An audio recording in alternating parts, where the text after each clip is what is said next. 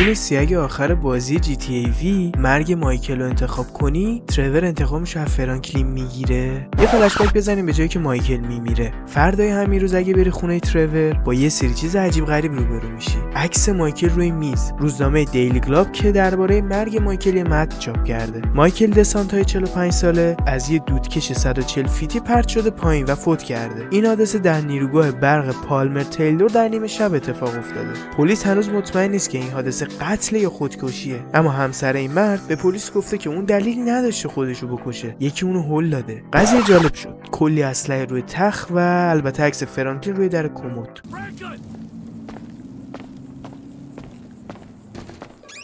Hello there. Loser! You snake.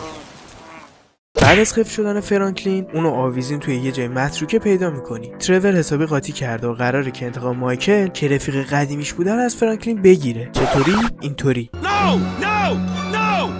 Yes. Yeah? Oh my days! What the fuck? What'd you expect? I'm a fake. Hey, stop being an asshole. Come on. Do it. Jesus. yeah. بعد از کشتن عمه فرانکلین نوبت می‌رسه به خودش Don't worry. You'll be dead soon. Let's party.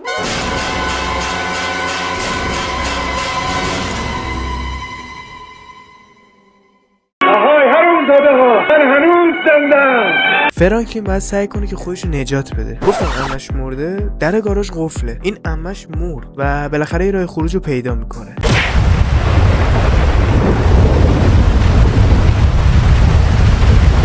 بسم الله!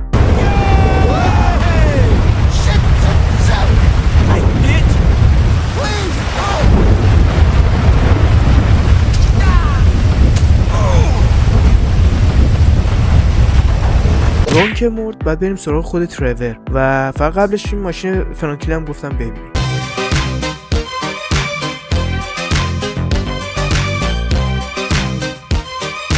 آه راستی. اون تیکی که گفتم آویزون توی یه جای متروکه و فلان اون جای متروکه همین گاراژ ترورینا بود. خلاصه وارد خونه ترور میشیم. ظاهرا وقتی فرانکلین آویزون بوده آقا باهاش سلفی گرفته پست کرده. چالش سعی کن نمیری. ترور کجاست؟ ترور اینجاست.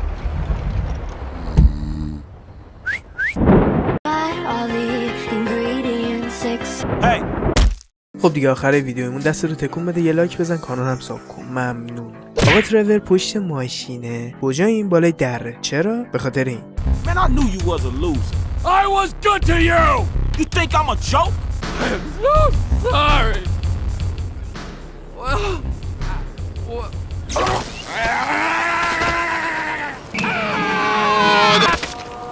ویدیو تمام دیگه شب بخیر.